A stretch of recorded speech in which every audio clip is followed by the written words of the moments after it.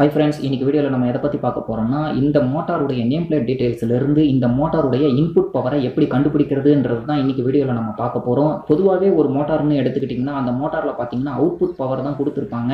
அந்த output power என்னன்றது கேட்டிங்கன்னா அந்த அவுட்புட் பவர் பார்த்தீங்கன்னா ஒரு ஷா அந்த மோட்டாருடைய ஷாஃப்ட்டில் இருந்து டெலிவரி ஆகக்கூடிய பவரை தான் நேம் பிளேட்டில் வந்து கொடுத்துருப்பாங்க. இப்போ இன்புட் பவர் வந்து கொடுத்துருக்க மாட்டாங்க. அப்போ நம்ம எப்படி அந்த இன்புட் பவரை கண்டுபிடிக்கிறதுன்றது தான் இன்றைக்கி வீடியோவில் நம்ம பார்க்க போகிறோம் வாங்க வீடியோக்குள்ளே போகலாம் அதுக்கு முன்னாடி நம்ம சேனலை நீங்கள் இது வரையும் சப்ஸ்கிரைப் பண்ணலன்னா சப்ஸ்கிரைப் பண்ணிக்கோங்க.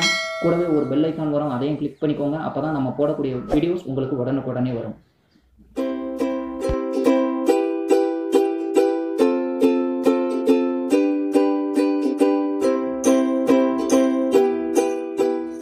ஒரு மோட்டாருடைய நேம் பிளேட்டில் இருந்து இன்புட் பவரை கண்டுபிடிக்கணும்னா அப்போ அந்த மோட்டாருடைய எஃபிஷியன்சி நமக்கு தெரிஞ்சாகணும். அந்த மோட்டாருடைய எஃபிஷியன்சி வந்து எப்படி கொடுத்துருப்பாங்கன்னு பார்த்தீங்கன்னா ஒரு மோட்டாரில் பர்சன்டேஜில் தான் கொடுத்துருப்பாங்க. அந்த பர்சன்டேஜ் ஆஃப் எஃபிஷியன்சி பார்த்தீங்கன்னா எயிட்டி நைன் பாயிண்ட் எயிட் ஜீரோன்னு கொடுத்துருக்காங்க. அதே மாதிரி மோட்டாருடைய அவுட்புட் பவர் அது வந்து லெவன் கிலோ வாட் அப்போது இந்த எஃபிசி பர்சன்டேஜ் ஆஃப் எஃபிஷியன்சியை நம்ம எஃபிஷியன்சியாக வந்து கன்வெர்ட் பண்ணிக்கணும். அப்போ எஃபிஷியன்சியை கன்வெர்ட் பண்ணிக்கணும்னா இதை வந்து டிவைடட் பை ஹண்ட்ரட்ல போட்டிங்கன்னா நமக்கு எஃபிஷியன்சி கிடச்சிரும். சரிங்களா? அப்போ வந்து எயிட்டி நைன் பாயிண்ட் எயிட் ஜீரோன்றது வந்து பர்சன்டேஜ் ஆஃப் எஃபிஷியன்சி இதை வந்து ஹண்ட்ரடால் போடும்போது உங்களுக்கு பார்த்தீங்கன்னா zero point eight nine eight அப்படின்ற எஃபிஷியன்சி உங்களுக்கு கிடச்சிரும். நீங்கள் வந்து எஃபிஷியன்சியோட ஃபார்முலாவை இப்போ வந்து எழுதிக்கணும். எஃபிஷியன்சியோட ஃபார்முலா பார்த்தீங்கன்னா எஃபிஷியன்சின்னு போட்டுக்கோங்க. எஃபிஷியன்சியோட ஃபார்முலா வந்து output power by input power சரிங்களா? Output power by input power power by input power அப்போ அவுட்புட் பவர் பார்த்தீங்கன்னா என்னன்றது உங்களுக்கு தெரியும். ஏன்னா அவுட்புட் பவர் வந்து லெவன் கிலோவாட்டுன்றது தான் அவுட்புட் பவர் அப்போ இன்புட் பவர் வந்து நமக்கு தெரியாது. அதை தான் வந்து நம்ம கண்டுபிடிக்க போகிறோம் அதாவது இன்புட் பவர் தான் க கண்டுபிடிக்க போகிறோம் எஃபிஷியன்சி நமக்கு தெரியும்.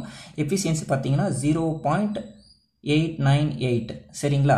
அப்போ இந்த மூணு விஷயம் தான் இதில் வந்து இருக்கே. Zero point eight nine eight equal to eleven divided by input power சரிங்களா? இன்புட் பவர் அப்போ இன்புட் பவரை வந்து நம்ம கண்டுபிடிக்கணும்னா என்ன பண்ணணும்?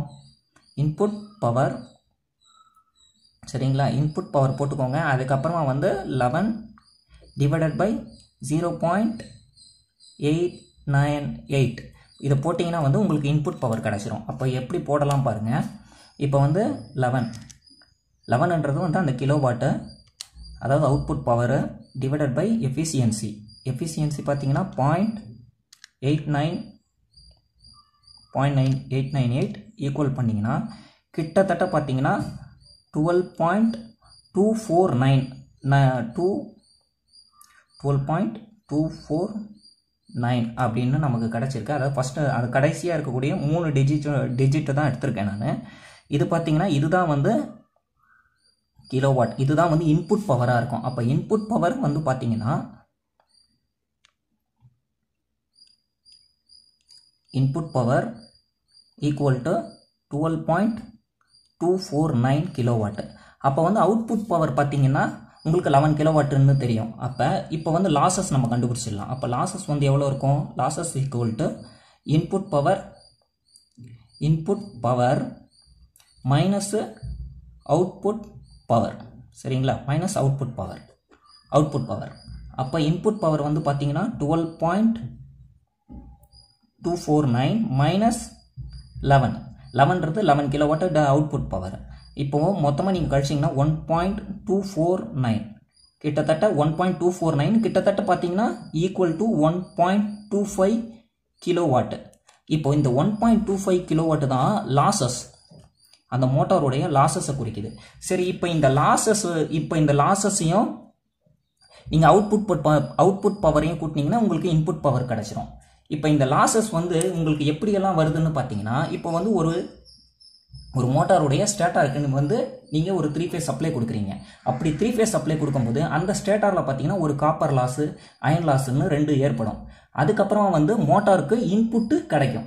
மோட்டாருக்கு இன்புட்டு அதாவது மோட்டார் கிடையாது மோட்டார்னா ரோட்டாருக்கு ரோட்டாருக்கு வந்து இன்புட் கிடைக்கும். ரோட்டாரோட இன்புட் கொடுத்த அப்புறமா பார்த்தீங்கன்னா ரோட்டாரில் ஒரு காப்பர் லாஸ் ஏற்படும். ரோட்டாரோட காப்பர் லாஸ் ஏற்பட்ட அப்புறமா அந்த ரோட்டாரில் பார்த்தீங்கன்னா ஒரு மெக்கானிக்கல் பவர் வந்து டெவலப் ஆகும்.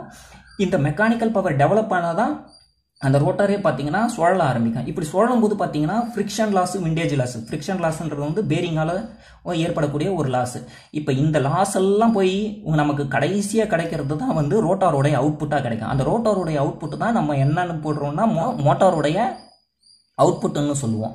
இப்போ அந்த மோட்டாருடைய அவுட்புட் பார்த்தீங்கன்னா எவ்வளோ இருக்குன்னு பார்த்தீங்கன்னா லெவன் கிலோ வாட் அப்போ மோட்டாருடைய இன்புட் எவ்வளோ இருக்கும் பார்த்தீங்கன்னா twelve point two five kilo வாட்டாக இருக்கும். இப்போ இதில் இதில் மீதி வந்து பார்த்தீங்கன்னா ஒன் பாயிண்ட் டூ ஃபைவ்ன்றது அதனுடைய லாசஸ் சரிங்களா? இப்போ இந்த தகவலோட நம்ம அடுத்த வீடியோவில் சந்திக்கலாம்.